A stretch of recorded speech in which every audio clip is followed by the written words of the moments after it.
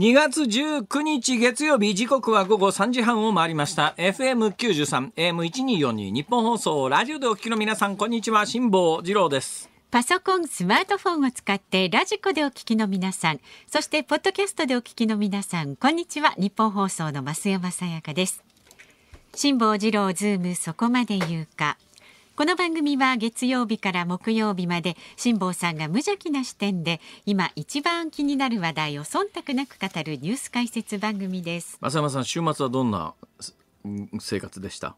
週末はですね、はいはい。えっ、と昨日はですね、えええええ日本放送のえっ、とねオードリーさんが東京ドームでねイベントをしたんですけれどもねオードリーさんが東京ドームでイベント。そうなんですよ。盛大なイベントだったんですすよごいですねそれ、はいもうみっちりと。だって東京ドームってさ、いっぱい人入るよね。そうですよ。どのくらい入るんですか？どのくらい入るんだ？全員昨日は5万人は入ってすげえそう。でそこでねあの飯田君も出演して。何やるんですか飯田君は？モノマネ？モノマネではないですけれどもね、ええええ。あのちょっと実況で増お手山さんも私はあの見てしました。たああそうですか。盛大なイベントでしたよ。主には何やるんですか？オードリーの方々が、うん。えーネタやるんですか？ネタというかまああの一応ニッポン放送のこのオールナイトニッポンの体を取ってイベントをするわけですよ。オー。ドリーさんたちのパワーはすごいですよ。大鳥圭介でございます。えそれは大鳥ですね。オードリーですね。あ違う違う。違いますね。わかる人しかわからないネタでそうですねごめんなさいね。ね。本当に。すいませんね。まね。全くだよね。つくづく感じるよね、ええ。うん。辛坊さんはコミュニケーション。え私ですね、はい。い、ろんなことがありましてえね、えーエピソードその1一えー私が東京で住んでおります勝どき月島方面から、えー渋谷で仕事があったんですが、ええうーん天気もいいし自転車で行こうと思って勝ち時から渋谷って結構ですよね。はいところがですね、、はいろんなことが分かったんですよ。まあスマホの時代ですから今。で Google 君かな？なんかあの、えええ。ールート表示というかルート検索が、あのスマホにデフォルトでついてるじゃないですか。であれでですね私のその出発点から渋谷の某会場に向けて、えで検索をかけたんですよ。はい。そしたらまあ検索かけるとですね公共交通機関で行きますか徒歩で行きますか、ええ。ー車で行きますかとかいろんなこう選択が出ますよね。ほ、いでまあ試しに自転車っていうので選択してみたんです。え試しに自転車で選択してみたら、地下公共交通機関で行くよりも所要時間が短かったんですよ1分だけ。一分だけ。えええそれもね私も結構ええだったんですけど、ええですねえー公共交通機関より自転車の方が近いか渋谷なんか私のイメージで言うと渋谷って山手線の反対側よりも遠いから。ああ、わかえーります。ージね、そうですよね。山手線の反対側、い大体はいあの勝どき月島方面って、えーこの有楽町山手線通ってますよね。ここからだいぶ南の方へガーッと下りますから、はいはい。えー数キロ下りますから、そこから渋谷って相当遠いイメージだったんですが。線図で言うとね、遠いイメージ。ところが公共交通機関より自転車の方が早いって出たわけですよ。本当かなと思ってはい行ってみました。はい、行ったんですか？そしたらよくわかりました。はいあの Google 君が計算する自転車を選択した時の所要時間というのは、ええ本気の自転車乗りが本格的なロードレーサーみたいな自転車で行った時の時間だと思います。あだから私のようえにえ車輪の直径が25センチぐらいしかないようなあの折りたたみ式のママチャリとも呼べないようなもので あのちょこちょこ走っていくのの計算時間とは全然違うんですよ。あのちょっと伏せた姿勢でメットをかぶってこう、ああもうだから本気のだから自転車っていう走ところを選択していく人はやっぱり本気の自転車乗りですから。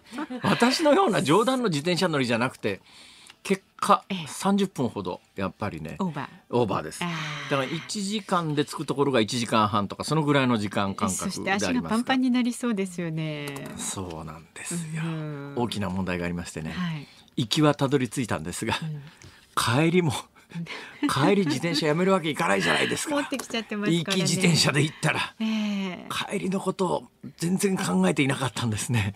呆然としてどんどん日が暮れてくるわけですよ。はいほいであうちの自転車ライトつけてないからこれは日没までに帰り着かないと、そうですね。えーもうとにかく降りて押すしかなくなるわけで、えーまあなんとかまだ日があったんで今ちょっと日がだいぶ長くなってますね。そうですね。で今日の最大の懸案は5時台のオープニングの怒鳴りで「こんばんは」というか「こんにちは」というかそろそろあそろそろあれ？なんか今外雨が降って雨かますよ。雨ですか。はいあまたちょっとなんか雪じゃないかあれなんか。雪じゃないか。雪じゃないわ、うん。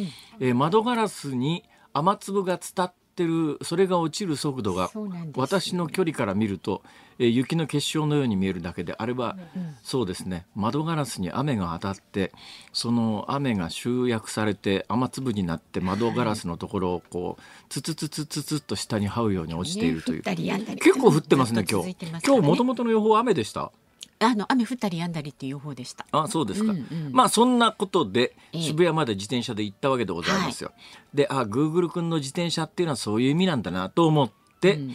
えー往復自転車で帰ってきました。まあ 結構な運動量になったのでございますでしょがうね。よくわかりました。私東京を舐めてました多分ね違うルートを選べばあったんでしょうけれどもなんかやっぱり本能的にいろんなルートが出た時えにえ最短コースを選ぶじゃないですか、ね？最短コース、はい。最短コース選んで何が起きたかというと距離は確かに最短なんだけど、えむっちゃアップダウンが激しいんですよ。坂道がだからあのその月島勝どき方面から渋谷に抜けようと思うとま、っすぐ最短距離はですね山手線の内側に一旦張り込んで、ええ国会議事堂の脇あたりぐらいから赤坂とか六本木とかっていうのをあはい抜けて、青山へ抜けていくのがうん。最短コースなんですが、うん。このルートやたらアップダウン上下動が激しいんです。あーそうかもそうか。坂多いですね。だ赤坂も確か坂じゃないですか。坂坂。あ東京というところは 意外なぐらいに坂が多いまあそう言われてみりゃなんとか坂なんとか坂谷とか坂がね結構つく地ね名。あの女性ばっかりのグループの名前が坂だったりなんかするじゃないですか。そうね坂いっぱいありますよ。いっぱい坂があるなと思ったら、ええ確かに東京は坂が多いんですね。はい。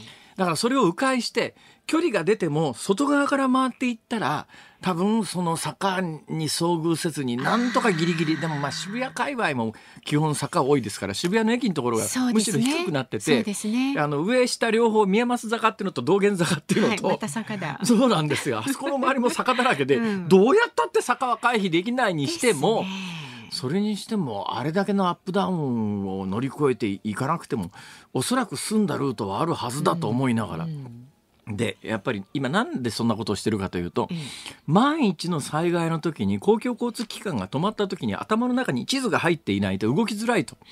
で私あのーまあえー増山さん所沢だから西武池袋線詳しいじゃないですか、うんうん私も西武池袋線から西武新宿、うん。えーあの辺りの山手線でいうところの北は割と詳しいんですが、ええええ。南側が頭の中に地図が入ってないんでやっぱり自分で地図を作るためには歩くか走るかがいいだろうと。でまあことあるごとに走る自転車で走るか歩くかをええ選択しているわけでございます。ええ。さてエピソード2 昨日ですえね えええ昨日ね。川崎っちゅうところで仕事があったんです。ええで仕事の会場が川崎市コンベンションホールっちゅうとこだったんです。はい。なんとなく聞いた瞬間に川崎にあると思うじゃないですかあ。確かにね名前ついて川ますかね。崎市コンベンションホールなんだから、うんうんうん川崎にあると私は信じ込んだんですよ。はいそれで新橋のん駅員さんに「すいません川崎行きたいんですけど」って言ってうんああじゃあ一番線ですよ」って言ってなんか一番線東海道線？なんか指示されて、はい。えーそしたら二駅で着くんですね。お川崎むっちゃ近っと思って新橋からだとそっかなるほど。で着いたんです。はい。でさあこっから歩いていこうと思って、うん。私の頭の中のイメージは遠くても歩いて15分ぐらいだろうと思って Google 君をパッと検索したら、えでまあいろいろこう徒歩とか自転車とか選ぶところありますよね。はい徒歩で検索して、検索をかけたら1時間半って出たんです。1時間半！え1時間半も今から歩くのは無理じゃねえか はいはいはい。えー結論から言うとですね、はい川像崎市コンベンションホールというのは、はい最寄り駅が武蔵小杉っちゅう駅で武蔵小杉っていう駅は川崎からだいぶ北の方にあるんですね。そうですね。舐めてました川崎を。いやだって普通どっか行くとき最寄りの駅を検索しないですか？っていうところは、うん川崎の駅の周りだと思ってたんですよ。だ少なくとも川崎というところを中心にして、半径15分歩くぐらいのところをコンパスでぐるっと回ったところの範囲内にはあるだろうと思ったらまさか川崎について検索かけたら歩いて1時間半は驚きましたね。なんで想像えで動くんで1す時間半なあほな、えーしょうがないからあの電車に乗りました。か。そうでしょう。でいろんなことが分かりました。武蔵小杉武蔵小杉というところは、これがあの最後これまたあの大間違いをしてしまいましてですね、はい。えーそうだすごいベッドタウンで東京すよね。方今面ね。のやつに電車に乗ったらいいのかなみたいなことを考えたんですね、あれ要するに東京方面行く電車は川崎通らなかったりなんかするんですねあれ。ああ。横須賀線っていうんですか？そうですね。横須賀線と東海道線となんか結構複雑でそうですね。えなんでこんな複雑な路線図を作るかな東京門はと思って、はい、まあいろいろ勉強になった頃週末でございました。いやでも普通検索したら最寄りの駅を見ませんか？川崎市コンベンションホールは川崎にあると思うだろう。いやー。だってそしたら東京ドームは東京駅の近くにあると思いますか？東京はまあ広いからさ。東京は広いけど川崎は東京ほど広くないだろう。と思ったら川崎って意外と面積広いんだなとねうん。びっくりしました、川崎は川崎という駅の近所だと思ってたら、え歩いて1時間半嘘だろ何回も検索し直して何かが間違ってるはずだ、おそらくこのソフトがなんか勘違いしてね。自分が立ってるところを勘違いしてるに違いないっていうんで、あの自動的に自分のいるところが入力されますよね、はい。そこをわざわざ消して わざわざ消してそこを手る手入力で川崎出発点川崎って入れてそれでもやっぱり1時間半変わらなくてもう壊れてんじゃねえかと思ってスマホ投げてやろうかと思って。本当にとも間抜け誰が間抜けやねん抜けなストーリーですね。以上でございおました疲れ様でございました。ね、週末もお働きで。何でも勉強です本当ですとよて。も勉強になりましたこれでまた一つ賢くなっちゃいましたね、辛坊さん。よかったです。私山手線の。の南下の方も、えー、大体地図が頭の中浮かんでますからあ、もう立派です。赤坂ってこんなとこにあったんだとか、赤坂と六本木はこんなに近いんだとかでもね、そうやって麻布。十番ってこんなとこにあるんだとかあここか東京とかなんかシェルター作ろうとしてるところはっていう。なんかやたらあの高級蕎麦屋が多いなとかなんかはいはいはい。いろんなことを学びました。いいはい。じゃないですか、発見がねいろいろあった週末でしたさあ辛坊治郎ズームそこまで言うかこの後はお知らせを挟んでズームフラッシュをお送りします週末から今日にかけてのニュースをチェックしますで辛坊さんが独自の視点でニュースを解説する特集コーナーズームオン4時台では犯罪被害者を支援する新しい制度を作るため政府が今の国会に法案を提出へというニュースにつきまして捜査や公判など刑事政策に詳しい東京都立大学法学部教授の星周一郎さんにお話を伺います。5時台では反プーチンの急先鋒ナワリヌイ氏が死亡。当局は遺体の引き渡しを拒否というニュースにズームしていきます。番組では今日も番組のエンディングズームミュージックリクエストと題しましてお送りする、えーリクエストにあなたからの何を言ってんですか？大丈夫ですか？お待ちしております今日のお題は？目的地まで徒歩1時間半とスマホに言われた時に聞きたい曲。目的地まで徒歩1時間半と言われた時に聞きたい曲、とスマホにスマホに言わスマホに言われた時はい。に聞きたい曲、はい。ああこれはなんか途方に暮れる系な感じの歌もね 結構ありますよね。徒歩だけにね。はい。ありがとうございます。いやいや、えー選曲の理由も書きましてメールで送ってくださる方 zoom zoom アットマーク一二四二ドットコム X で参加される方、ハッシュタグ漢字で辛坊治郎、カタカナでズーム、ハッシュタグ辛坊治郎ズームで参加してください。お待ちしております。では続いてこの時間は外為ドットコムプレゼンツマーケットインフォメーションです。最新の株と為替の情報を外為ドットコム総研研究員の上原修平さんに伝えてもらいます。上原さんお願いします。はい、外為ドットコム総研の上原です東京株式市場日経平均株価は前週末金曜日と比べて16円86銭安い3万8470円38銭で取引を終えています。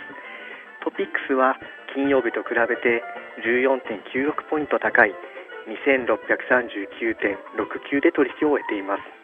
円相場は現在1ドル150円ちょうど付近で取引されています。東京市場の円相場は小動きの展開となっています。新規手がかり材料に乏しい中で150円を挟んでもみ合い相場となりました。本日は米国が祝日となります。そのため米国株式市場債券市場が休場となっています。また経済指標などの発表も控えていないことから引き続き方向感のない相場展開となりそうです。以上株と為替の情報をお伝えしました。上原さんありがとうございました。外為ドットコムプレゼンツマーケットインフォメーションでした。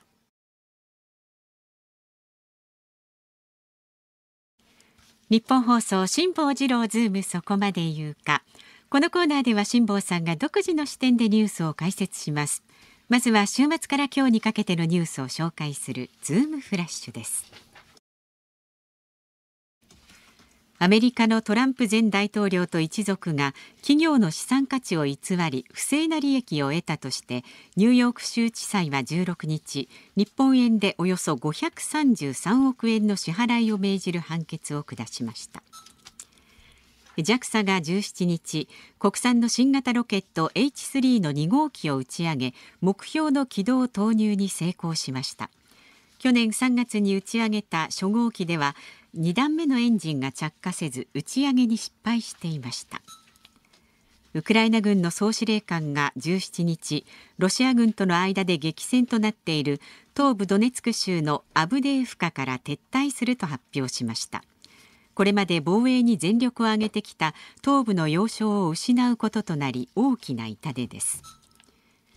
日本海溝や千島海溝沿いの巨大地震で津波の被害が想定される北海道から千葉県までの108の市町村のうち冬に避難所の運営訓練を実施したことがない自治体が69%を占めることが昨日分かりました。近年の災害では寒さなどで体調を崩して亡くなる災害関連死が相次ぎ冬の避難所対策が問われています。作業服大手のワークマンが昨日子ども服の販売に本格参入すると発表しました。まずは今週木曜日にオープンする沖縄県の店舗で取り扱いを始め順次全国の店舗に拡大するということです。毎日新聞が週末に実施した世論調査で岸田内閣の支持率が発足以来最低の14%となりました。調査方法が異なるため単純比較はできないものの2009年2月に麻生内閣が記録した11%以来の低い水準だと伝えています。名古屋市教育委員会が校長会など教員団体から金品を受け取っていた問題で2023年度に校長らの推薦名簿を提出した団体のおよそ8割が金品を提供し一つの団体で最大年6万円に上ることが今日分かりました。大阪府と大阪市で作る大阪港湾局が今日堺市の大阪湾内でクジラ1頭が死んだことを確認したと明らかにしました。先月から周辺の海域で目撃されていた個体とみられます。えーとクジラです。クジラ、えーいや今ね、スマホを思わず検索したのはですね、もう時効だからっていうか本人も退任してるから公表しますけども、えー当時大阪市長だった松井一郎さんにええ。去年の1月17日に私メールを送っております。はいえー当時話題になっていたのがあのクジラのヨドちゃんあと当時名前がついた、はい。あれもマッコウクジラだったんですよ。うんうんでマッコウクジラが死んだというニュースがあってどうすんだっていうのが話題になってる時に私が当時の大阪市長はいの松井一郎さんにプライベートで送ったメールです。クジラクラウドファウンディングで処理費を集めて海遊館で骨格標本にして展示するのはいかがでしょう？というふうにメールを送ったところ、はい。律儀ですねあの人はあのおっさんは、今もうあの公職外れてますから、ええ。まあいいでしょう。とすぐに返事が返ってきておアドバイスありがとうございます。現状クジラの腐敗が始まっており周辺住民への影響を考えて海洋処理を決定いたしました。これはまた真面目な返事だなと思うんですが、あの凄まじく腐敗臭がする上に、体内でガスが発生して場合によったら爆発することがあるんですよ。危ないですまあね、、爆発するっつうだって、ええ火薬の爆発とは全然違いますけれどもそうするとまた一周があたり漂ってえらいことになるので、そんなにあの簡単ではないんだけれども、私は今回も同じ提案をしたいと思いますね。大体ね骨格標本作る時どうするかっていうと大体3年弱、えー砂の中埋めとくんですよ。ね、で場所があるのかっていうとですね今まさに建設途中の建設途中の万博予定地あるじゃないですか、はい。夢島っていうところ、はいええ。万博予定地の端っこに海岸線があるんですよ。うん。この海岸線にまあ深さ数メートル、はい。長さ十数メートルの穴を掘って、ええ。そこに引っ張ってきて埋めてですね万博の開会中えにえ取り出して骨格標本を作るというショーマグロの解体ショーみたいなクジラの骨格標本作りショーというのを万博期間中にやったら相当な集客が見込めるのではないかと。なるほど。でその埋める連れてきて埋める費用がないっていうんだったら、まあ、そこはクラウドファンディングでなんとかなしてですね、その骨格標本作る時には砂の掘り出し役やらしてあげるみたいな。みんなでねお金出してくださって。どうすかねこれ。まあ一つね提案してみたらいかがですか？大阪市長が横山さんか、うん。ああ横山さん連絡先わかんねえんだな。誰かつてをたどって。つてをたどって、うん松井さんにもう一遍メールしてちょっと横山さんに言ってくんないって、うん。ねえ。そういう個人的なつながりみたいなものを行政に持ち込んではいけません。その一つ前のニュースです。はい。名古屋市教育委員会が校長会など教員団体から金品を受け取っていた問題で、ふざけんなよ。聞いたことねえわこんな話って。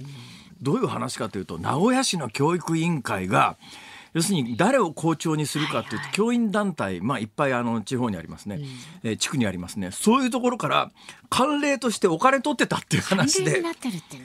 それでひどい話が2023年局長級の幹部は一人で40万円超活動費で持ってこれってさば場合によったら増収賄とか、少なくとも脱税とかこれで終わりじゃねえだろこれ、うん。聞いたことのないようなは不祥事だと私は思います。もっと騒ぐべきです。ズームフラッシュでした。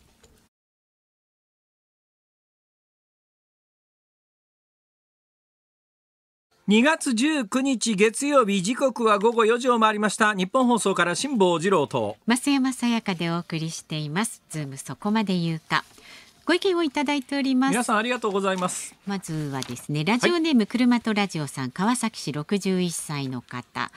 辛坊さん川崎市を舐めてはいけません。人口150万人の政令指定都市です。でかいとこなんだな。そう。うん。ちなみにねあちなみになんですか？枚方市の人口は40.4あ万人枚方も結構多いんですけど、うんいやあのねちょっと舐めてたなと本当に思うのは、はい。えー、一昨日えー渋谷まで自転車でい行きましたよね、うん。ええ。で実は昨日川崎行くに際しても、はい。よし天気もいいし自転車で行こうと思って。ほいでえもう結構行きかけたんですよ。えはい。行きかけたんだけどもいやそういえば昨日帰りしんどかったなと。うんで渋谷に比べると川崎だいぶ遠いんで。遠いでしょ自転車。でもねでも太平洋を横断するのに飛行機使わずにヨットで行くのに比べりゃあです横ね。自転車で川崎ぐらい乗ったことないだろうと思ったんだけど まあまあ、うん、結果やめて新橋から電車に乗りました。その方が良かった、まあ、多少ね間違えましたけど生き方ねそうですね。ええ。正解だったと思いますよ自転車やめてそれからこちらの方はですねお名前がないんですが、はい。多分大阪お住まいの方。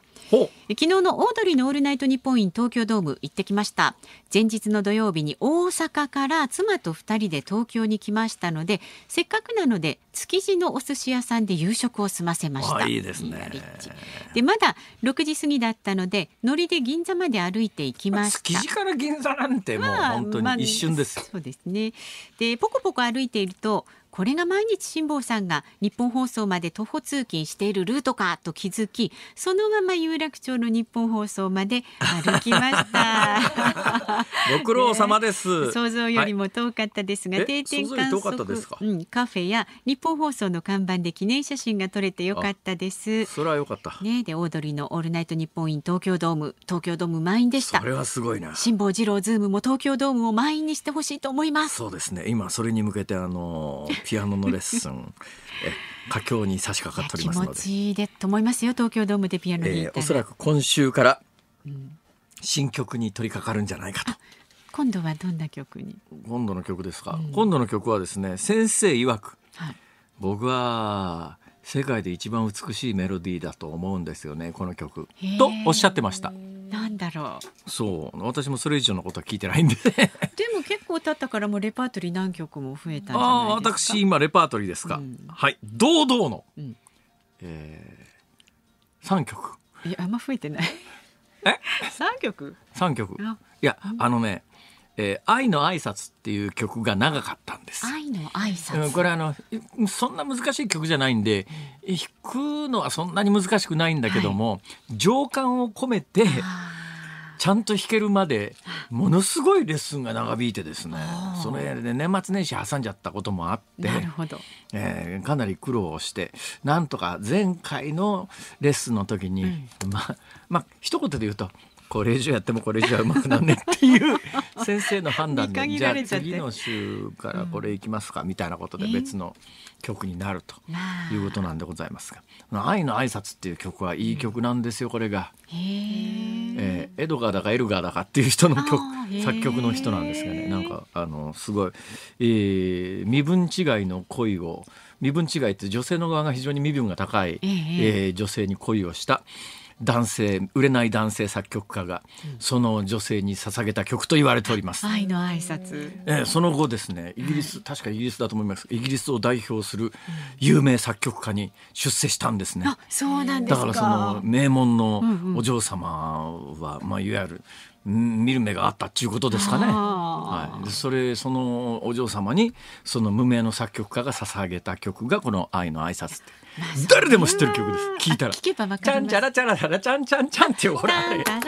それそれそれそれそれそれそれこれはそんなストーリーがあったんですかそうなんですよこれがねいい曲なんですけどねでもそんな難しくないんだけどね、うん微妙情感込めて弾けって言われても込めらんねえ。よだってピアノなんて鍵盤叩いたら同じ音が出るわけだから。それが弾く人によって趣が変えるからいいんじゃないですかでもねあのいろいろやって分かりました、えー私に一番多分向いてると思います。他の楽器よりも。あピアノ？ええあのギター挫折してウクレレ挫折してトランペット挫折してドラム挫折していろんなもんで挫折を繰り返してきましたけども、はいピアノが一番。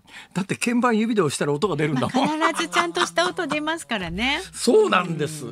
ギターみたいにちょっとフレットを押さえる指がずれただけで、ええ。ビビビビビビとか言わないですから。指も痛くなんないしねピアノトランペットなんか鼻から音出ないですからね。確かに。はい。ねで両手使うとね脳にもいい刺激になりそうでこれからお年をねあ重ねていくにあたって、両手っていうか指一本ずつぐらい まあ先行ってください。はいありがとうございます。東京ドームは遠いです。はいまたまたね、日本武道館も遠いです。東京武道館ですら遠いです。東京武道館、そうですね頑張りますまずイマジンスタジオを目指してねはい100人そうですね。ぐらいはまあね十分ですね。イマジンスタジオで。はい。さあメールで送ってくださる方は z o o m zoom アットマーク一二四二ドットコム X はハッシュタグ辛坊治郎ズームでポストしてください。で今日のズームオンミュージックリクエストのお題は目的地まで徒歩1時間半とスマホに言われた時に聞きたい曲です。選曲の理由も書いて送ってください。お待ちしております。さあこの後は東京都立大学法学部教授の星修一郎さんにお話を伺います。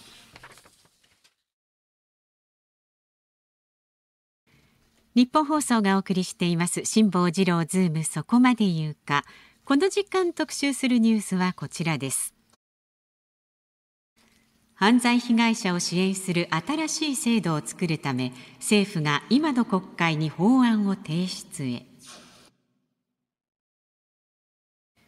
今月8日政府が犯罪被害者を支援する新しい制度の創設に向け総合法律支援法の改正案を今の国会に提出する方針を固めました。背景には犯罪被害者の皆さんの精神的負担や経済的負担を軽減する狙いがありますが現状の制度には一体どんな問題があるのでしょうか。この時間は捜査や公判など刑事政策に詳しい東京都立大学法学部教授の星修一郎さんにお話を伺います。どうぞよろしくお願いいたします。先生よろしくお願いします。よろしくお願いいたします。スタジオまでお運びいただいて申し訳ないです。とんでもございません。こちらこそありがとうございます。あの全くどうでもいいような話ですが、はい。星ヒューマの星に、はい。修一郎あまねく修修修に一郎で星修一郎さん、はい。いいお名前ですね。ありがとうございます。はい。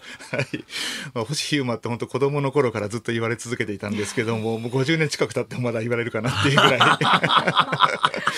あやっぱり星という姓の方はそういうふうに言われるんですね言われますね。ね、はい。えーきどうして巨人の星にならないんだとか言われるんですねはい懐かしいですね。そんそんなこと言われても星という名前の人がみんな野球の選手になるわけでもないし無茶言うなよって話ですどうぞよろしくお願いしますよろしくお願いします。え先生あの刑法の先生ですか？そうです。はい。刑法の先生ですか？はい。いやー私私一応ですね、はい。嘘の法学部卒なもんですから、ね、そうなんですか？なんか法学部の先生とはい言うだけで身構えてしまって 刑法にあんまりいい思い出はないですか？俺に赤点つけやがってみたいな。いやあの唯一あの負荷をもらったのが債権法の先生だったんで。ああ、そうですか。はい、まあいいんですけけどね。いやいや。えで先生、はいいろいろ教えてください。はい。えー今のに、えー、増山さんが教えてくれた原稿の中に、はい。政府が犯罪支援被害者を支援する新しい制度の創設に向けてこういうくだりがあったんですが実は私、あの、えーローカルで夕方のニュースやってる時に、はい。それまで全くなかった犯罪被害者を支援する制度ができたっていうニュースをやった記憶があるんですよ。はい。それこそ昔って昔っていうのがまあ例えば何年前かな。だから80年代とかよりも前だと思いますけども、はいはいはいはい。えー例えば通り魔に襲われて、えーあの稼ぎ頭の父ちゃん死んじゃったみたいなことになっても、はいはい一切公的支援が当時なかったですよね。そうです、そうです。で、えーそれは何とかしなきゃいけないんじゃないのっていうことになって支援制度はできたというふうに私は記憶してたんですが、ええ、あそれもおっしゃる通りで、ええあのこの間ちょっとあの話題になりましたあの連続企業爆破事件のあの桐原聡の関与しているこの日本放送のすぐそばでも大,、ね、大事件になったわけですけれどもあれで東アジア反日武装戦線狼ってやつですね。そうそうですそうでえす、はい。あれでですねあの被害に遭われた方がもういかに悲惨な思いをその後することになるのかとえいうことがですねもう身近にあれの事件がきっかけですか？そうです。えあれであの公的な制度というのがですね、あのええ。いくつか始まりまして、あの犯罪被害者等給付金制度というのが最初始まったのはもうそれこそ昭和50年50何年ぐらいでしたっけねはいそれ以降って形になりますね。えーそれ以降制度は変更されてこなかったっていうことですか、えというか、はい。その時にできた制度が不十分だということですよね。そうですね。あの要するに、まあ、その時はですね、ええ。あの犯罪被害者等給付金というのはその犯罪被害に遭われた方に対する言ってみ言ってみればお見舞い金をですね国の方から支給してあげると。ね、だから、はい。私らのあの法学部で習った当時はそういう制度があったのかなかったのか分かんないですけど基本的には、その犯罪犯罪被害者の人は、ええ。民法上の不法行為で、はいはい。あの犯罪者を訴えて損害賠償請求をしろと。ええ。でそれでであの犯罪者不法行為をした人間から賠償金を取るというのが成功法で、はい。なんで関係ない国が金出さなきゃいけないんだよ っていう当時認識だったんですが、です。でも現実問題としてはい。大体あの、まあ、例えば通り魔で犯人逃げちゃってるような場合は訴える相手が分かんないし、訴える相手が分かっているケースでもまあ大体そういうケースで賠償金を払えるだけの視力を持っている犯罪者うんっていうかまあ加害者ってほとんどいないので現実に民事で賠償して責任取ってもらえよっていうのが日本の法律の枠組みなんだけどこれじゃあ被害者の救済にはならないだろうっていうんで、まあ、国がある程度っていう話になったんですね。そうですね。あのもうあの忘れ去られた存在みたいなことを言われてきたわけですけれども、えー、まあ国としてはその犯罪者の側の処罰と、あるいはその刑務所に入れての構成といったようなことはするけれども、えー、まあ犯罪被害にああの遭われた方については今おっしゃった通りですね、民事でやっていただきたい。まああの警察というのはもう民事不介入であるといや本当にそれはね長い間社会の常識だったんですよ。すね、だからあの、はい、最初に支援金制度ができた時にも。ものすごく画期的なイメージがありました。今はでもその制度は機能してはいるんですか一応あのそれもあの拡充という方向でですねあの、えあの今回ニュースになっているのとはまた別の方向で検討はされているところです。はい、で今回ニュースになっている方向っていうのはどういう方向なんですか？はいあのこれはですねまああの犯罪被害者等支援弁護士制度というのを作るということなんですけれども、え、まあこれあの根拠法令といいますかねあのかいあの法改正という形になるわけですけれども、はい、あの総合法律支援法というものがあります。でこれあんまり聞いたことないという人多いと思うんですけれども、ね。はい、あのこれあのそれこそ2000年の前半頃にですね、えー、あの小泉改革の一環で、まあ、司法制度改革というのがいくつかあったんですけれども、えー、まあ、その一つがその裁判員裁判の導入と。新司法試験なんかもあのあそうですそうです。おっしゃるおっしゃる通りあのロースクールなんかもまさにおっしゃる通りそうです。ということは必ずしも全部が成功してるとは言いまあ、そうそうあれなんですけれども。話ややこしい方言っちゃいますけど。まあだとにかくね、はい、我々のイメージで言うと。えー司法試験っていうのはとてつもなく難しい試験で、ね。えー、一生受け続けて人生潰しちゃう人とかいたんですよ。うん、ね、あの大学の法学部の図書館にずっとこもってですね、そこで音でも立てようもんならどんな目に遭わされるかっていうぐらいな緊張感の中で 何十年も受け続けて。でそれいいくつか改革が行われて、まあ、3回でアウト3回以上はもう受験させないみたいな制度が、はい、そうじゃないと20年とか30年とか諦めきれずに続けちゃう人いますから。それはもうちょっと人生潰しちゃうから3回に限定すればまあ3回続けてもう3回受けてもう落ち落ちちゃった人はもう、まあ、あのまだ年齢的に公務員になれる年齢ならば知識があるわけだから公務員試験受けなさいよとか、いろんな人生の選択っていうような改革もあって、で同じ勢いで司法制度改革であの法科大学院っていうのが作られて、あの司法試験は基本的にまあ通るか通らないかわからない一発勝負だけども法科大学院だけどこれも詐欺みたいな話で最初に法科大学院ができた時には私のイメージで言うと法科大学院出たら3年間勉強したらほぼ間違いなく弁護士になれるだろうとみんなそう思って大学院に行ったんだけど、結果蓋を開けてみたらそれなりの競争率で、必ずしも3年間法科大学院出たからといって弁護士になれるわけでもないっていう、はい、詐欺じゃねえかこの制度はっていう 意見もありましたよね、はい。はい、あの大学教員としてはなかなかしんどいところはあるんですけれども。そうですね、それ星先生責めてもしょうがない。まあその司法制度改革の中でごめんなさい。何があったんですか？そうですね。あのその中でですねあの、まあ、この総合法律支援法というのができまして、あのその具体的な成果としてあの法テラスっていう言葉ですね。あの聞かれたことあるかと思いますけれども。あれ法テラス、法法律の方にテラスがカタカナで、そうですね、はい、なんじゃあれっていう。何なんですか要するに。あれは要するに国がですね、ええ、あの運営する、まあ、あの法律事務所という形でですねあの経済的にあのなかなか法律のサービスといいますか救済を受けられない人に対して支援をすると。弁護士さん頼みに行くってものすごいハードル高いですよね、うん、一般の人には、はい、また料金も分かんないしね。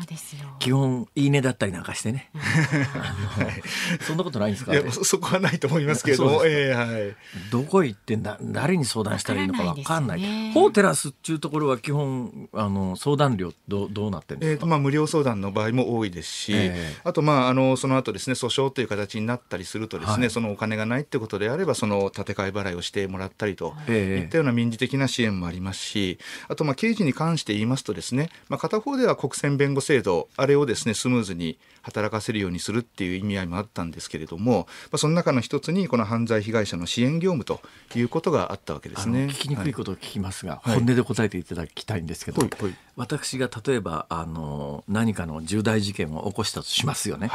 起こしたとしますよね、はい、えー、弁護士がいないと裁判は始まりませんから、はい、弁護士つける金がないですって言うと、うんはい、国選弁護人の方がついてくださいますよね。えええ、ね。これただですか、あこれはただです。ただですね。それでお金があるとですね、はい、まあ、あの自分で弁護士さん選んで、はい、この人に頼んだりするわけじゃないですか。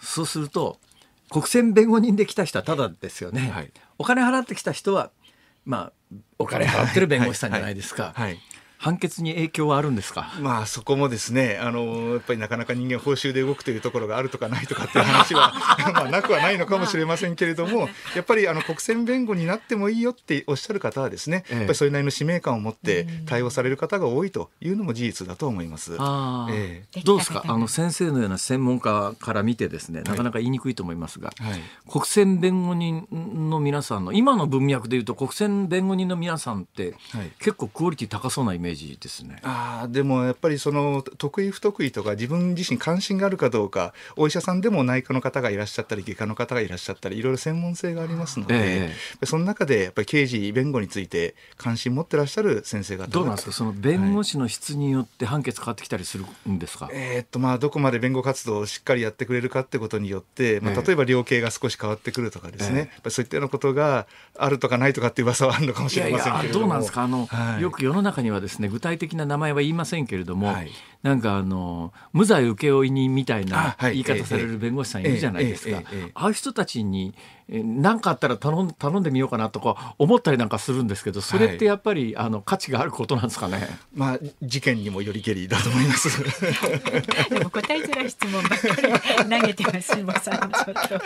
ですね、ええ私もそれは自覚しながらやっております。はいで、で法テラスです。はいはいはいで今回ですね新しくあのほ法改正のですね検討がされているというのは、はいはい。そのやっぱり今おっしゃったようにあの被疑者被告人の側には国選弁護人というのが国の制度としてつくわけですけれども、ええええまあ、被害者の側も自分で弁護士を頼むことはできるわけですが、やっぱりそこをですね国が面倒を見てくれるっていうのがなかなかないということがあってその犯罪被害者等支援弁護士制度というものをあの作ってみたらどうかということなんですね。はい。ただあの刑事事件の裁判において私の認識だと、はい。刑事事件というのはあの訴追する側の検察官 VS、はい。訴追される側の被疑者はい。との、まあ、被告人との対決になるわけで、はい。そういう時に被害者っていうのはそのはい。刑事裁判の中の範囲から外れてる存在なので、ここのここを思私なんかが習った時代の刑法の の考え方だと、ここの被害者のはい。意見に重きを置くと、はいえー量刑が狂うっていうかですねそういう言い方されることありましたよね。私的復讐の場になっちゃうんじゃないかってことですよね。えー私的な復讐ですね。はい。私的復讐。はい。ええ私的復讐。はい。ええ。まあ、ただ今あの被害者参加制度ということができていまして、ええ。まあ、そういう恐れがないと裁判所が認めた場合には被害者の方も法廷に出廷してですね、ええ。意見を言ったりあの質問をしたりといったようなことはできるようにはなっていや。私はそれは非常に正当だろうと思います。やっぱり従来の刑事裁判の中で被害者っていう視点が完全に欠落してってですね、はい。あのなんか一方的に被害に遭ってんのに、はい。なんかそういうの裁判の範囲の中からも締め出されたりなんかして、まあ、最近まあはい。おっしゃるようにあのこの間のあの京アニの事件なんかでもねえはい被害者の方のご遺族ご家族等があの、まあ、裁判に出てきて証言をされるというようなことも、はいはい最近はありますけど、ええええもうす以前は全くなかったですよねあれ。はい、そうなんです。あの自分の事件ですね。あのそれ有名な事件であれば自分もあの傍聴権って言いますかね。あれを求めて並ばなければいけないっていう時代もありました。ああ被害者だからって言っても裁判自体ええ自動的に傍聴できるわけじゃないんですか？なかったです。昔は。今はできるんですか、今はできます。はい。ああまあじゃあちょっとずつは進歩してるっていうことそうですね。ですかね。はい。じゃあそのちょっとずつの進歩の中で今回はまあ大きな進歩になるかもしれない改正がはい。これは行われるんですか？行わまだ行まだですこれからあの検討という形で、あのまあ、おそらく成立するんではないかなというふうに思っておりますけれども、ええまあ、あの要するに一定の重大な事件についてに、まあ、限るっていうところはあるんですけれども、はいはい。被害者の方に対する今おっしゃったようにいろんな支援の制度はできてきてるわけですが、ええやっぱり普通の人知らないわけですよね。はいはい。でまして言わんや被害に遭ってもうパニックになってる時に、ええそこに自ら支援制度にありつけというのはなかなか大変じゃないのかと。はい。いうことで、まあ、それをですね支援する弁護士さんの制度と。でこれをですね、まあ、一貫して被害に遭った直後からですねあの裁判というところまで。で場合によっては民事のですねあの訴訟の支援といったようなところまであの一人の弁護士さんがですね継続的に支援に当たることによって被害者保護というのをもっと実質的なものに実質的に保障されるようにしていこうというあの取り組みということになりますね。はい、それは今国会に法案が提出されるということですということかなと思います。ちょっと今そこの詳しいところまで私もじゃあそれもしね、はい、今後なんですけども、はい、まああのそういうことがないことをまあ祈りながら生活はしておりますが、いつ何時自分が犯罪被害者になるとも分かんないですよね、これ。街歩いてていきなり通り魔みたいなことも現実にありますもんね。まさに自分事ですね。そういう時にはどうしたらいいんですか、はいまあ、そうですね。まずはとにかく警察に行くということはもうあの基本なんですけれども、えー、そこからですねあの、はい、要するに警察の方でも被害者に対する情報提供ということについては今力を入れるようになってきてまして、えー、そこからですね今回のような犯罪被害者等支援弁護士制度というのができたんであればそういった方につないでいくと。いうところでですねやっぱり刑事司法の現場の方もやっぱり動いていただくということが大事になってくると思いますね。そのさっきおっしゃった法テラスっていうやつなんですが、はいはい、それは電話番号とかどうやって調べたらわかるんですか？それもあのウェブでさ探せばすぐにえ検索すればネットで、えそれは地域ごとにあるものそうですね。はい。はいじゃそれ自分の住所地に、まあ、近いっていうか、そこを管轄している法テラスに連絡するということになりますね。はい、そういうことですか。まあでもうんまあ、この40年ぐらい私刑事司法、まああの先生なんかと違う立場で見てますけど、ちょっとずつは進化してますね。それも間違いなく。ね。はい、前何にもなしでしたからね。おっしゃる通り。はい、そうです。同じ文脈で言うと、まあ、先生とは関係ないですけどあの自然災害でね、えー、で阪神大震災が起きるまでは、はいあの私有財産に関して政府が保障することはできないっていう立場だったんで、今は自然災害が起きると、まあ、例えば家取り壊す時の費用をいくらか行政が補助してくれるって、まあ、当たり前のようにありますけど、全くなかったですね。なかったです、はい。今先生あのその刑事事件に関して、はい、先生の専門のお立場から今後まだ必要なことっておそらくあるだろうと思いますが先生が今問題だな、はい、なんとかしなきゃと思ってるようなことあります？まあそうですね。やっぱり犯罪予防ですよ、まあ、そもそもやっぱり犯罪にいかに合わずに済むかってことが大事になってくるかと思いますけれども、やっぱりこれから人手不足といいますかね、えー、そういう社会の中で今までと同じような状況で日本の治安維持みたいなことができるかというのは大きなどうなんですか、あの、はい、日本の犯罪って増えてんですか、減ってんですか？あのずっと今減ってきてですね。でコロナ、えー、コロナの間にちょっとあの一番そこを打ってですね、はい、また最近ちょっと社会が動き出したので少し増えてきてるっていう。やっぱ社会の動きに合わせてということですか、えーえー、というところありますね。あのこのずっと減ってきてるっていうのは、はい、あの私なんかの印象で言うと、はい。えー、犯罪をよくする世代の人人間自体が減ってきてるからじゃないかとか思ったりするんですまあそうですね。確かに少年犯罪とかものすごく減っていますのでめちゃくちゃ減っています。はいそういう意味でなんとなくその人間の雰囲気というのも変わってきてるのかもしれませんけれども、えー、でも一定数そういう人がいるってことも間違いないですし、そうですね、えー、ゼロにはならない。浜の、えー、まさに浜の政子が月尽きると思って 石川五右衛門が、はい、あの時世の句で言ったように、はい、やっぱ犯罪なくなることない？そうです、ね、残念ながらないでしょうからね。そうですね。それはもう病気がなくならないのと同じですね、まあ、それを前提に、じゃあ自分のこととしてどう,、どう制度はあるべきかっていう目線が必要だろうなと思いますが、おっしゃる通りですね、はい、この辺りを先生は日々支援してらっしゃるというか考えてらっしゃるわけですけど、はい、そういうことになります。はい。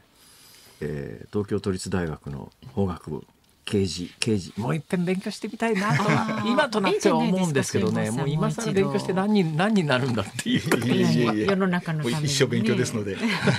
なるほど。一生勉強、ね、先生ありがとうございました、ありがとうございました。東京都立大学法学部の教授星周一郎さんに伺いましたありがとうございました。ありがとうございました。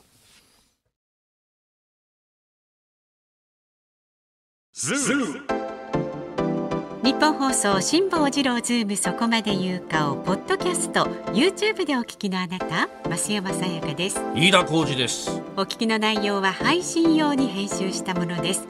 辛坊治郎ズームそこまで言うかは月曜日から木曜日午後3時半から生放送でお送りしています。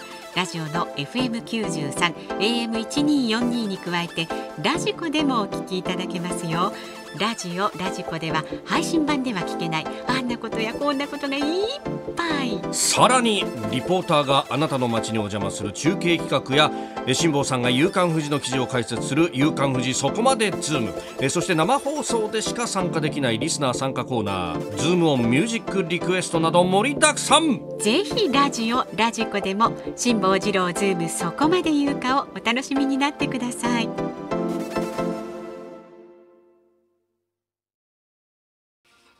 2月19日月曜日時刻は午後5時を回りました。こんばんは辛坊治郎です。こんばんは日本放送の増山さやかです。さあ5時過ぎましたけれども今日はねお天気があんまり良くないんで外少しそうですね。今日はまあこんばんはでもちょうどいい感じですそうね。ちなみに今日の日の入りがね5時26分っていうことなので。ああじゃああの晴れてりゃもうちょっと明るいかもしれないですね。今日はねちょっと暗めの5時過ぎですけれども。この時間はズームをミュージックリクエストをご紹介してまいります今日のお題は目的地まで徒歩1時間半とスマホに言われた時に聞きたい曲です。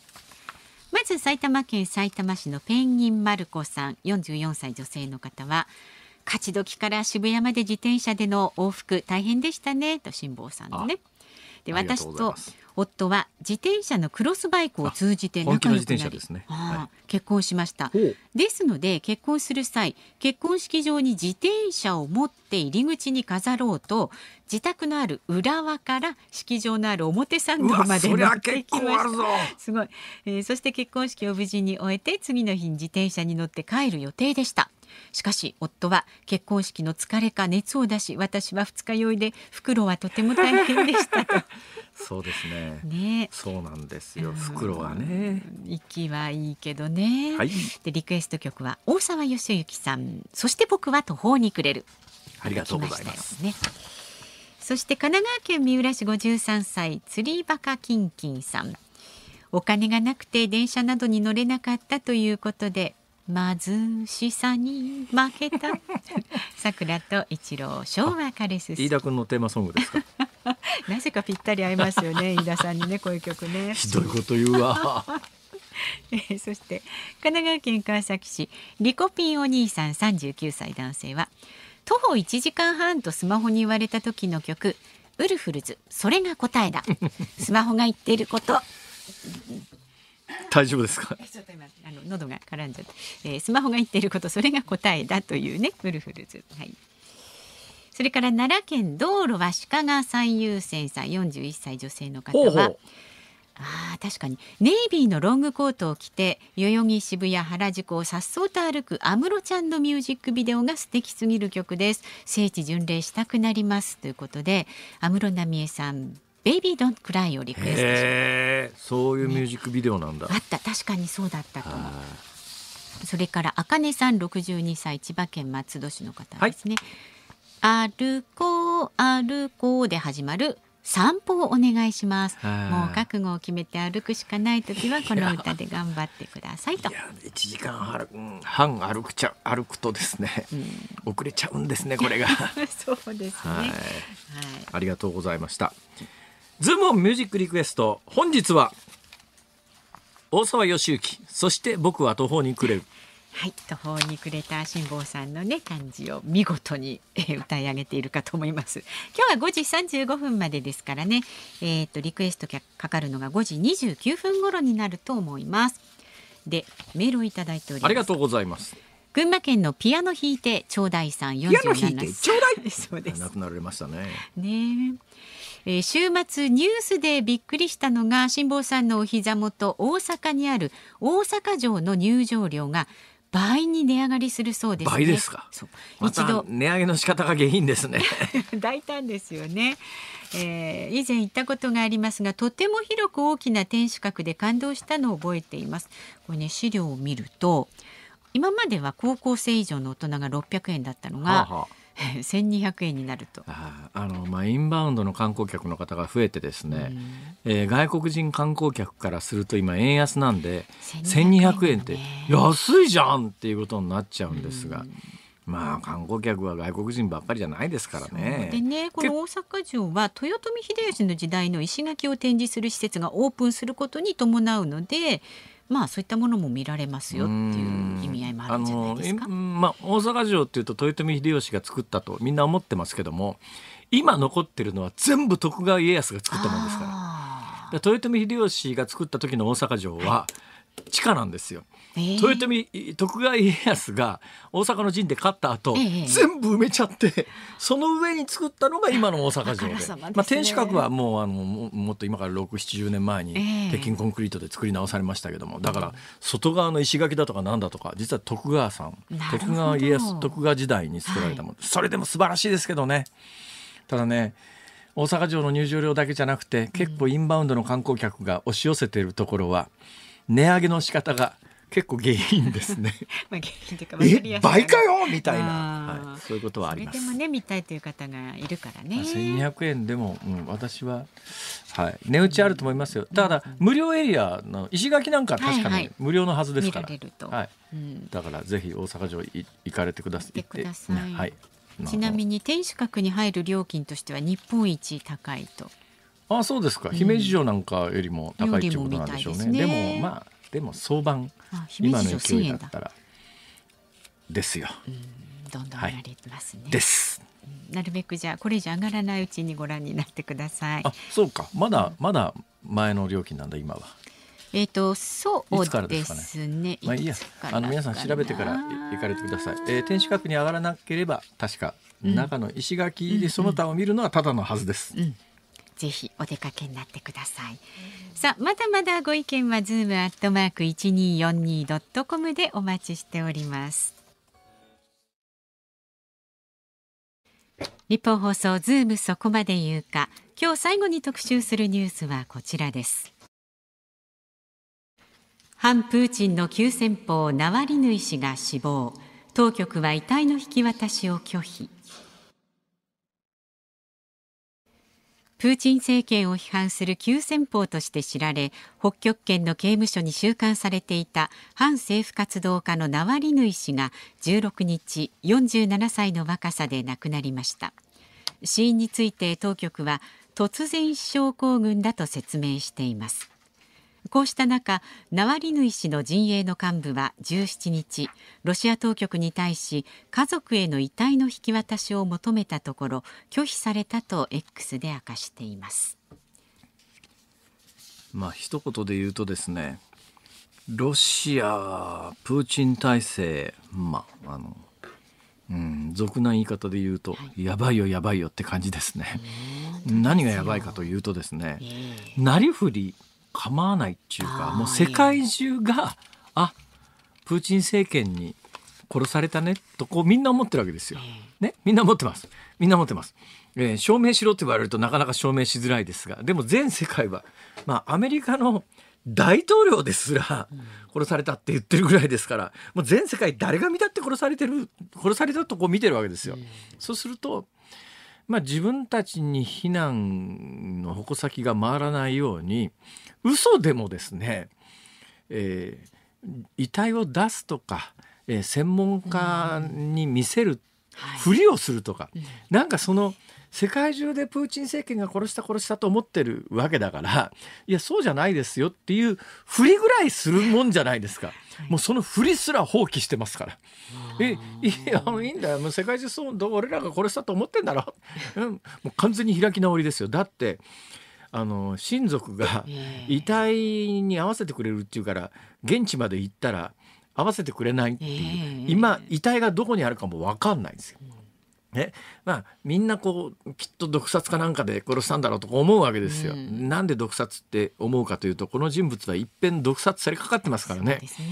もともとこの人はまあいやあのうーんロシア政府の腐敗みたいなものを追求する、まあ、ネット上での、まあ、あある意味ヒーローみたいなことになってって有名人になったんだけれどもでまた本人もね身長が101メーター90センチぐらいあって、まあ、ロシア人って大体でかい人多いですがその中でもかなり目立つんです。うん。で反政府集会みたいなものがいるとものすごく目立つし、ええ。活動的にも、まあ、あの具体的な、えー数字なんかを出してきて今これだけこの政権は腐敗してるんだということで、まあ、プーチンという人物はあのとにかくこれな「ナワリヌイ」という言葉を口にするのも嫌だっていうぐらい嫌ってた人物で,、である日突然飛行機に乗ってたら体調悪くなって、でドイツでこれ多分ロシア国内だったらいくら検査しても出てこなかったと思うんだけど、ドイツで検査してみたらノビチョクっていう旧ソ連時代に開発された神経毒、どんな神経毒かというと要するに運動神経が全部麻痺しちゃうっていうそういう強烈な毒物。でどうもですねほんのちょっとお茶に入れたような感じです。つまりはっきり見える形で暗殺じゃなくてえなんか心臓麻痺で死んじゃったぞみたいな扱いされるように、えーノビチョクというこのノビチョクなんていう薬はですね普通の人が手に入らないわけですよ。そうするとまあそのかつて暗殺をプーチン政権が企てた時にこれ間違いなく旧ソ連の情報機関 KGB の流れを組む FSB とかいろんな情報機関があるんですが間違いなくこれ旧ソ連が開発した特特殊な毒物を使って暗殺しようとしたよねっていうこれドイツで検査したからそれがもう分かっちゃってて。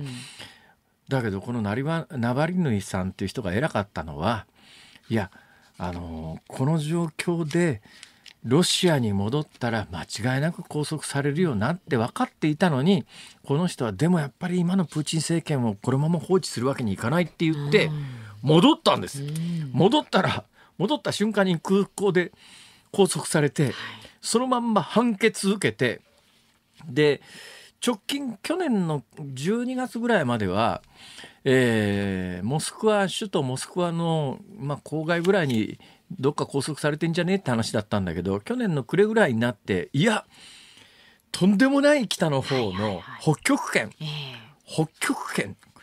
この時期モスクワでも大概寒いですけどね。ー。ロシアの北極圏。冬の北極圏なんてね。ねそれはもうあのとんでもないです。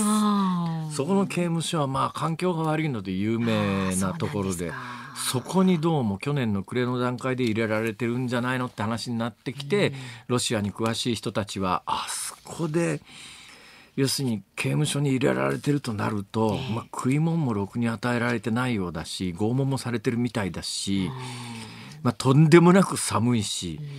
なんか今回当局の発表当局の発表っていうかロシア国内のテレビの発表。まあロシア国内のテレビって別に自由独立で何でも言えるっていうわけじゃありません。もう政権の息のかかったテレビ局しか生き残ってないですから。そういうところのニュース報道だと、えー散歩中に突然死しましたって 散歩中ってそんな寒いとこで散歩しねえだろっていう。冗談かそれは。何かの悪い冗談だろってじゃあ遺族が会いに行きたいって言ってあじゃあ見せるって言ってた遺体も見せてくれないし今この時点において遺体がどこにあるかも分かんない。つまりあの隠そうというようなもう意思すらないと。そうですね。だからその時に空空戻った瞬間に空港で拘束されてそれっきりだからね。はい。ほいで私があの、えープーチン政権に殺されたと断言します。なんで断言できるかというと、はい。その今回、まあ、もしかするとね非常に環境の劣悪なところで、えーうん冬季にこう冬の間に拘束されてたんで、それが原因で命を落とした可能性もゼロではないけれども、少なくともこの人物の過去の要するにロシアの裁判所が出した、えー拘束理由みたいなものは、少なくとも日本の感覚だとか東いや西側のあの感覚で言うと犯罪になるようなものじゃないわけですよ。犯罪になるようなものじゃないのに、えー要するに反政府活動が理由で拘束された挙句命を失ってるわけだから、最終的に手を下したかどうかともかくロシアの現政権が殺したと。これはもう断言できます。そうでなかったら多分このタイミングで4 50歳前の47歳の若さでそれいきなり死なないでしょそりゃ。ね突然死傷行だからまあ冒頭申し上げたように世界中はそう見ているのに、そんなことないですよっていう言い訳すらしようとしないと。それがまかり通ってしまうという、はい。だからこそねある日突然ウクライナにあの戦戦車入れたりなんかして、もうあの例のウクライナの戦争でですね、えー亡くなった方死傷された方は数十万人ですから、数十万人ですよ。あーちょっともうなりふり構わないっていうか今のロシアの現状というのを、まあ、今回の件が意味軸も残念ながらというか見せつけたかなと、そんな感じがしております。すよねはい。ズームオンでした。ズームミュージックリクエストお送りしたのはペンギンマルコスさん、マサヒコさん、ケニーさん、エビーロボタンさん、シュバルツバルトさん、うー沼の牛さん、ぶっ飛びあんこさん、ゼック東京さん、あざまの大勢のパパさん、あざまの大勢のパパさん。あ9人の皆さんからのリクエストです。大沢誉志幸、そして僕は途方に暮れる。うん名曲ですね。そうですね。はい。さあお聞きのニッポン放送この後5時35分からは小島夏子さんのお帰りなさい。お送りします。明日の朝6時からの飯田浩二の OK 工事アップはコメンテーターはインドからね一時帰国されているそうです。インド管理大学リサーチフェローで戦略科学者の中川コージさん。あのねこの番組にもご出演いただいてます中川浩二さん今何？日本からインドから一時帰国中ですか？そうそうそうそう、えー。ねちょっとなんか土産話でも聞きたいもんですね聞きたいですよね。明日はね現地で見たインド経済それから対中政策における安全保障などを取り上げ。私の番組のゲストに来てくれたら食い物だけで全部お話が終わっちゃうような気がしますが、まあそれも聞きたいところですけれどもね。なぜなぜインドに行くとお腹がぐるぐる言うのかという謎なんですよ。どんだけ注意しててもぐるぐる言いますからね。体質的なんか、にね。うん、空気かな合わないんですね多分ね多くの日本人にね。日本人の胃腸とやっぱちょっと違だうからね。だから当然あの警戒してますから、うんペットボトルの水しか飲まないし、えね煮沸したものしか飲まないんだけれども、どんだけ注意してても あーでも後から考えれば思い当たるものは結構あるんですね。うん私が一番ひどい状況になった時に思い当たったのは、はい。ものすごい暑かったんですよ。うんで街角でねサトウキビを昔の洗濯機の絞り器みたいなやつでグリグリグリグリって絞って、ええ。そしてあの絞り汁が出ますよね、うん。絞り汁をそのまま手でね、うん。グラスにかき集めたやつ はいっていうこれはそれは。うまかったんだけど一発でしたね。まあそうですね。はい。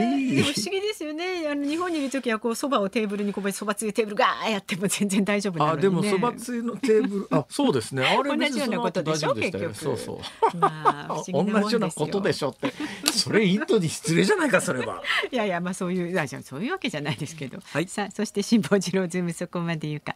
明日はですねまもなくロシアのウクライナ侵攻から2年となりますこのナワリヌイ氏の死去の影響などを神戸学院大学教授の岡部義彦さあんに岡部さん。伺います。はい。ね本当にね、ちょっとラジオだと分かりづらいですけどもおしゃれな方でね。あそうそう。そうなんですよ、あんなに蝶ネクタイ似合う人いないですよ。